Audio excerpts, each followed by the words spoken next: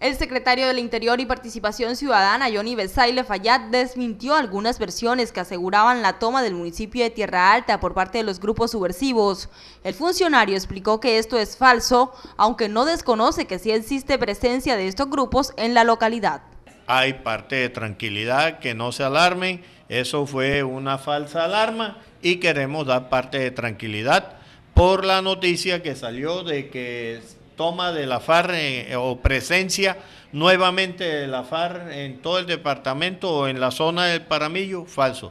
Todos sabemos que ahí hay reductos de la FARC por los límites con el vecino departamento de Antioquia, todos lo sabemos.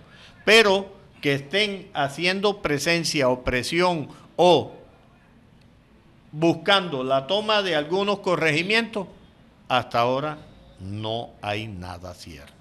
El secretario además reiteró que según informaciones del comandante de la Fuerza de Tarea Conjunta Nudo del Paramillo, el atentado ocurrido hace algunos días en este municipio no iba dirigido a la población civil como se conoció en un principio. Eh, acabo de comunicarme con el general Leonardo Pinto, el cual me dice que eso son falsas alarmas porque la FARC no tiene, no tiene cómo llegar ahí, todo lo tienen controlado.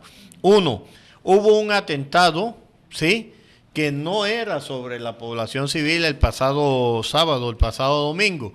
Eso era dirigido a un comandante de, eh, de una móvil perteneciente a la Fuerza de Tarea Conjunta.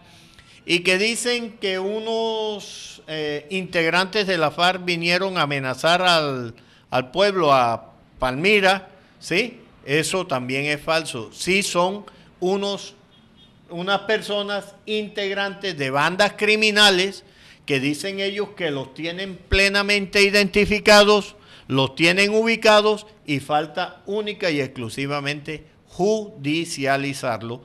Finalmente, y luego de todo lo expresado, el parte es de tranquilidad para esta zona del departamento de Córdoba.